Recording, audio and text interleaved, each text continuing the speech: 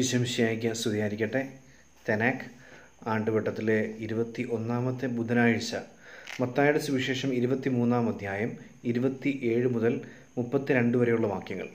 നമ്മൾ ഇന്നലെ വായിച്ച് അവസാനിപ്പിച്ച സുവിശേഷ ഭാഗത്ത് അകവും പുറവും എന്നതിനെക്കുറിച്ചാണ് നമ്മൾ കണ്ടത്. അകം അശുദ്ധമായി വെച്ചിട്ട് പുറം ശുദ്ധമാക്കുന്നതിനെക്കുറിച്ച് കർത്താവ് വിമർശിക്കുകയാണ്. നിങ്ങൾ പാത്രത്തിന്റെ പുറമല്ല അകമാണ് ആദ്യം ശുദ്ധമാക്കേണ്ടത്. അകം ശുദ്ധമാക്കുന്നതിനോടൊപ്പം പുറം ശുദ്ധമാകും എന്ന് കർത്താവ് ഓർപ്പിക്കുക. എന്നിട്ട് അതിന് അതിന്റെ തുടർച്ച എന്നോണമുള്ള വാക്യമാണ് നമ്മൾ ഇന്ന് വായിച്ചു കേൾക്കുന്നത്. ഫരിസേരെ നിങ്ങൾക്ക് ദുരിതം നിയമജ്ഞരെ നിങ്ങൾക്ക് ദുരിതം. നിങ്ങൾ കപട നാട്ടിക്കാരാണ് നിങ്ങൾ വെള്ളയടിച്ച കുഴിമാടങ്ങൾക്ക് സദൃശ്യമാണ്. അവ പുറമേ മനോഹരമായി കാണപ്പെടുന്നുവെങ്കിലും അവയ്ക്കുള്ളിൽ മരിച്ചവരുടെ അസ്ഥികളും സർവവിധ മാലിന്യങ്ങളും നിറഞ്ഞു കിടക്കുന്നു. നമ്മൾ ഈ യഹൂദ പശ്ചാത്തലത്തിൽ ഒരുപോലെ നമ്മൾ ഇസ്ലാം യഹൂദ കബറിടങ്ങളൊക്കെ ഒരു ഒരു യൂണിഫോമിറ്റി ഒന്നാണ്. നമ്മൾ ക്രൈസ്തവരുടെയും കബറിടങ്ങൾ ഇന്ത്യയ്ക്ക് പുറത്തോട്ടൊക്കെ പോയി കഴിയുമ്പോൾ നമ്മൾ ഫോറിൻ സിമിട്രീസ് ഒക്കെ നമ്മൾ സിമിത്തേരികൾ നമ്മൾ നോക്കുകയാണെങ്കിൽ നെറ്റിലൊക്കെ സെർച്ച് ചെയ്ത് നോക്കി കഴിയുമ്പോൾ കാണാൻ സാധിക്കും. ഭയങ്കര യൂണിഫോമിറ്റി ആണുള്ളത്. ഒരു ഏകീകരണമുണ്ട്. പക്ഷെ നമ്മൾ കേരളത്തിലോട്ടൊക്കെ വരുമ്പോഴാണ് ഇങ്ങനെ തോന്നിയപടി അവരവരുടെ ഡിസൈനിൽ വലിപ്പവും വലിപ്പം കൂടിയതും വലിപ്പം കുറഞ്ഞതും കുരിശടി പോലത്തതും ചെറിയ പെട്ടി പോലത്തതും അങ്ങനെ വ്യത്യസ്ത അളവിലും വ്യത്യസ്ത രീതികളിലും ഒക്കെയുള്ള കല്ലറകൾ പണിഞ്ഞു വെച്ചുകൊണ്ട് കല്ലറ പണിയുന്നതിനകത്ത് പോലും ഒരു ആഡംബരവും ഒക്കെ കാണിക്കുന്ന രീതി നമുക്ക് കാണാൻ സാധിക്കുന്നത് കേരളത്തിൽ മാത്രമായിരിക്കും ഒരു എനിക്ക് തോന്നുന്നു. എന്താണെങ്കിലും നമ്മൾ ഇസ്രായേലിലൊക്കെ ചെല്ലുമ്പോഴത്തേക്കും അവിടെ ഈ ശവകുടീരങ്ങൾ നമ്മൾ ഒരു പ്രധാനപ്പെട്ട ഷൗഡി നമുക്ക് കാണാൻ സാധിക്കുക. നമ്മൾ കർത്താവിന്റെ കർത്താവ് സ്വർഗസ്നായ പിതാവ് എന്ന പ്രാർത്ഥന പഠിപ്പിച്ച ആ സ്ഥലത്ത് നിന്നും താഴേക്ക് ഇറങ്ങുമ്പോൾ ഒലിവ് മല ഒലിവ് മലയുടെ ആ വഴിയിലൂടെ നമ്മൾ കടന്നു വരികയാണ്. അഥവാ ഓശാന പോയ ഓശാന യാത്ര പോയ വഴി എന്നൊക്കെ പറയപ്പെടുന്ന പറയപ്പെടുന്നൊരു വഴിയുണ്ട്. ആ വഴിയിലൂടെ നമ്മൾ കടന്നു വന്ന് നമ്മൾ താഴേക്ക് നോക്കുമ്പോൾ ഒരു വലിയ കെദ്രോൺ താഴ്വരയും അതിന് മറുകരയായിട്ട് ജെറുസലേം ദേവാലയമൊക്കെ നമുക്ക് കാണാനായിട്ട് സാധിക്കും. അത് ആ ഭാഗത്ത് ഒരു ജൂത സെമിട്രി നമുക്ക് കാണാൻ സാധിക്കും. ഒരുപക്ഷെ യേശുവിന്റെ കാലഘട്ടത്തിൽ ജീവിച്ചിരുന്ന വ്യക്തികളെ വരെ അടക്കിയിട്ടുള്ള ഒരു സെമി സെമിത്തേരിയാണ് യഹൂദ യഹൂദ സെമിത്തേരിയാണെന്നൊക്കെ പറയാറുണ്ട്. വഴിവക്കുകളിലായിരുന്നു സെമിത്തേരിയുള്ളവർ ചെയ്തിരുന്നത്.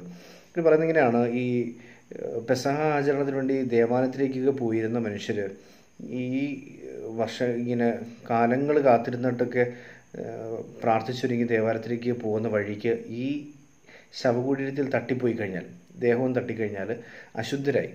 അശുദ്ധരായി പോയവർക്ക് പിന്നീട് അതാരും കണ്ടാലും കണ്ടില്ലെങ്കിലും അവർക്ക് മനസാക്ഷിയുണ്ട് പിന്നെ ബലിയർപ്പിക്കാൻ ദേവാലയത്തിൽ കയറാനായിട്ട് തോന്നത്തില്ല. അത് കയറാൻ പാടില്ല കാരണം അവർ അശുദ്ധിയിലാണ്. പിന്നെ അതിന്റെ പരിഹാര ക്രിയകളൊക്കെ ചെയ്ത് ചിലപ്പോൾ ആ വർഷം അതിൽ പങ്കെടുക്കാനായിട്ട് പറ്റിയെന്നും വരത്തില്ല. അങ്ങനെയൊക്കെയുള്ള അപകടങ്ങളുണ്ട്. യഹൂദ പശ്ചാത്തലം നമുക്ക് അങ്ങനെ കാണാനായിട്ട് സാധിക്കും. വഴിവക്കുകളിലുള്ള കല്ലറകൾ കൊണ്ട് അങ്ങനെ പ്രശ്നങ്ങളുണ്ടായിരുന്നു.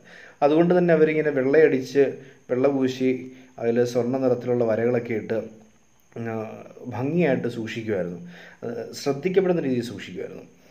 അപ്പോൾ ഇങ്ങനെ ശ്രദ്ധിക്കപ്പെടുന്ന രീതിയിൽ സൂക്ഷിക്കുന്ന സിമിത്തേരികൾ അല്ലെങ്കിൽ കല്ലറകൾ അതിനെക്കുറിച്ച് നമ്മൾ ചിന്തിക്കേണ്ട ഒരു വസ്തുത ഇതാണ്. ഇങ്ങനെ വെള്ളയടിച്ചിട്ടേക്കുന്ന കല്ലറകൾ ശ്രദ്ധിക്കാൻ വേണ്ടിയാണ് വെള്ളയടിച്ചിട്ടേക്കുന്നതെന്ന് തന്നെ മനസ്സിലാക്കുക. ചില ആൾക്കാർ വെള്ളപൂശി നടക്കുന്ന കാണുമ്പോൾ തന്നെ മനസ്സിലാക്കുക അത് കല്ലറയാണെന്ന്. എന്ന് ഉറപ്പിക്കുന്നതാണ് നമുക്ക് ആ വരിയിൽ നിന്ന് വായിച്ചെടുക്കാൻ സാധിക്കുന്നത്. യഹൂദ പശ്ചാത്തലത്തിൽ നിന്ന് വായിച്ചെടുക്കാൻ സാധിക്കുക. വെള്ളപൂശി നടക്കുന്ന ചില ആൾക്കാരെ കാണുമ്പോൾ തന്നെ നമ്മൾ മനസ്സിലാക്കിക്കോണം ഇവന്മാർ കല്ലറകളാണെന്നുള്ളത്. നമ്മളങ്ങനെ ആകാതിരിക്കാനായിട്ട് ശ്രദ്ധിക്കുകയും ചെയ്യും. നമ്മളെക്കുറിച്ച് ആളുകൾ ചിലപ്പോൾ പറയും നമ്മൾ വെള്ളപൂശി നടക്കുന്ന കല്ലറയാണെന്ന് മറ്റുള്ളവർ പറയാതിരിക്കാൻ ശ്രമിക്കുക. ഒരു വ്യക്തിക്ക് രണ്ട് സാധ്യതകളാണ് ഉള്ളത്. ഒന്ന് വെള്ളപൂശി ഒരു കല്ലറയായി ജീവിക്കുക എന്നുള്ളതും രണ്ട് ദൈവത്തിന്റെ ആലയമായി ജീവിക്കുക എന്നുള്ളതും.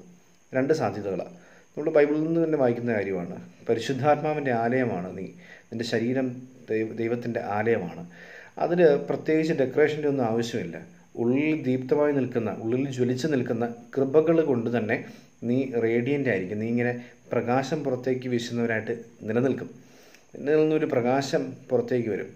അതിൽ നിന്നും ഒരു സ്നേഹത്തിന്റെ കരുണയുടെ ഒക്കെ ഒരു രശ്മി പുറത്തേക്ക് വന്നുകൊണ്ടിരിക്കുന്ന പോലെ ഒരു ഹാലോ പോലെയൊക്കെ നമുക്ക് കാണാൻ സാധിക്കും. ഇങ്ങനെ ആ, ഒരു ചൈതന്യം പുറത്തേക്ക് നിൽക്കും. അത് കണ്ണിന് കാണാൻ പറ്റുന്ന പരുവത്തിനായിരിക്കണമെന്നില്ല ഹൃദയത്തിന് മനസ്സിലാക്കാൻ പറ്റുന്ന രീതിയിൽ. നമുക്ക് ഇടപെടലുകളിലൂടെ തിരിച്ചറിയാൻ പറ്റുന്ന രീതിയിൽ ഒരു ചൈതന്യം ജ്വലിച്ചു നിൽക്കും അങ്ങനെയുള്ള വ്യക്തികളിൽ. മറിച്ച് പുറമേ വെള്ളയൊക്കെ പൂശി അല്ലെങ്കിൽ പുറമേ പ്രാർത്ഥനയുടെയോ അല്ലെങ്കിൽ മറ്റു കാര്യങ്ങളുടെയോ ഒക്കെ ഒരു പുറമൂടിയൊക്കെ ഇട്ടതിന് ശേഷം ഉള്ള് ഈ പറയുന്ന രീതിയിൽ രണ്ട് കാര്യങ്ങളാണ് പറഞ്ഞു വയ്ക്കുന്നത് അവ പുറമേ മനോഹരമായി കാണപ്പെടുന്നെങ്കിലും അവയ്ക്കുള്ളിൽ മരിച്ചവരുടെ അസ്ഥികളും സർവവിധ മാലിന്യങ്ങളും നിറഞ്ഞു കിടക്കുന്നു. രണ്ട് കാര്യങ്ങളാണ്. മരിച്ചവന്റെ അസ്ഥി അതായത് അവന് മാംസമോ മജ്ജയോ ഞരമ്പോ ഒന്നും ഒന്നുമില്ലെന്ന് മാത്രമേ ജീവനില്ല എന്ന് പറയുമ്പോൾ അവൻ ഇല്ലാതായി. അവന്റെ ആ ജീവൻ ഇല്ലാതായി അല്ലെങ്കിൽ മൃതമായി പോയ അവസ്ഥയെന്നല്ല അത് അത് അതിൽ നിന്നും ആ ജീവൻ ഉണ്ടായിരുന്നപ്പോൾ ഉണ്ടായിരുന്നൊരു ആ ഫിഗർ അതിന്റെ ആ ഒരു സ്റ്റഫ് അതുപോലും ഇല്ലാതായി അസ്ഥി മാത്രമായ ഒരു അവസ്ഥ അതാണ് കല്ലറയ്ക്കകത്തിരിക്കുന്ന അവസ്ഥ എന്ന് പറയുന്നത്. അവസ്ഥയായിട്ട് അവതരിപ്പിക്കപ്പെടുന്നത്. അതായത് ഒരാൾ പാപം ചെയ്താൽ ആത്മാവിൽ മരണപ്പെട്ടു എന്ന് പറയാറുണ്ട് പക്ഷേ ആത്മാവിൽ മരണപ്പെട്ടു എന്ന് മാത്രമല്ല ആ മരണത്തിന്റെ എക്സ്ട്രീം ലെവലിലേക്ക് പോയി അസ്ഥി മാത്രമായി മാറി എല്ലാം ദ്രവിച്ചു പോയി എന്നൊരവസ്ഥയായി ആത്മീയ ജീവിതത്തിൽ എന്ന് പറയത്തക്ക രീതിയിൽ നമുക്ക് കാണാനായിട്ട് സാധിക്കും. നമ്മൾ ചെറിയ പാപങ്ങളൊക്കെ ചെയ്യുമ്പോൾ ആത്മാവ് മരിച്ചു ആത്മാവ് മരണപ്പെട്ടു കുമ്പസാരിച്ച് കുർബാന സ്വീകരിച്ച് വീണ്ടും പുനരുജ്ജീവിപ്പിക്കുക എന്നൊക്കെ പറയുന്ന ഒരു കാര്യത്തിൽ നിന്ന് കാര്യത്തിനോട് ചേർത്ത് ചിന്തിക്കുകയാണെങ്കിൽ ആത്മാവ് മരണപ്പെട്ടു മരണപ്പെട്ടത് അങ്ങനെ തന്നെ കൊണ്ടു കൊമ്പസാരിച്ചിട്ടില്ല കുർബാന സ്വീകരിച്ചിട്ടില്ല. മാസങ്ങൾ കാലങ്ങൾ ഇങ്ങനെ കൊമ്പസാരിക്കാതെ നടന്നു പാവം മോചിക്കാതെ നടന്നു. അങ്ങനെ ഇതാ ഇത് അസ്ഥിപ്പരിവുമായി എന്ന് നമുക്ക് കാണാൻ സാധിക്കും. രണ്ടാമത് പറഞ്ഞിരിക്കുന്നതിനാണ് അത് നിറച്ച് മാലിന്യങ്ങൾ. മരിച്ചവരുടെ അസ്ഥികളും സർവവിധ മാലിന്യങ്ങൾ ഇങ്ങനെ അഴുകിയതിന്റെയൊക്കെ ബാക്കി അതിനകത്ത് കിടക്കുകയാണ്. മാലിന്യങ്ങൾ കിടക്കുക. അതാണ് അതിനകത്ത് ബാക്കി കിടക്കുന്നത്. അഴുക്ക്. നീ ചെയ്തു കൂട്ടിയതിന്റെയൊക്കെ ബാക്കി പത്രമാണ് നിന്റെ ജീവിതം. നീ ചെയ്തു കൂട്ടിയ തിന്മകളുടെയൊക്കെ ബാക്കിയാണ് ഇങ്ങനെ കെട്ടിക്കിടക്കുന്നത്. നീ അസ്ഥിയായിപ്പോയി എന്നിട്ട് അതിന്റെ കൂടെ കെട്ടിക്കിടക്കുന്നതൊക്കെ നിന്റെ തിന്മകൾ മാത്രമാണ് നന്മകളൊന്നുമില്ല.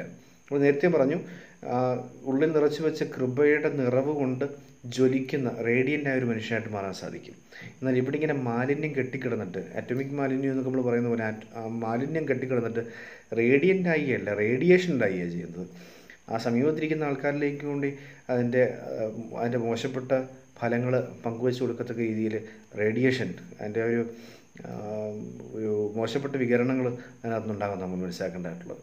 ഇപ്പോൾ രണ്ട് കാര്യം രണ്ട് സാധ്യതകളാണ് ഒരു മനുഷ്യന്റെ ഉള്ളത്. ഒന്നെങ്കിൽ നീ ദൈവത്തിന്റെ ആലയായി മാറുക അല്ലെങ്കിൽ വെള്ളയടിച്ച് കുഴിമാടമായിട്ട് ജീവിക്കുക. ഒരു കുഴിമാടമായി ജീവിക്കുക. വെള്ളം ഊശുന്നില്ല എന്നുള്ളതല്ല ഒരു കുഴിമാടമായി ജീവിക്കുക. അപ്പോൾ ഏത് സാധ്യതയിലേക്ക് പോകണം എന്നുള്ളത് കർത്താവ് നമ്മളോട് ചോദിക്കുന്നുണ്ട്. നമുക്ക് എന്തായാലും ഒരു കുഴിമാടമാകാനായിട്ടുള്ളൊരു മനസ്ഥിതിയിലേക്ക് പോകണ്ട. നമുക്ക് ദൈവത്തിന്റെ ആലയമാകാനുള്ള കൃപയ്ക്കായി പ്രാർത്ഥിക്കാം. ദൈവം നമ്മെ അനുഗ്രഹിക്കട്ടെ.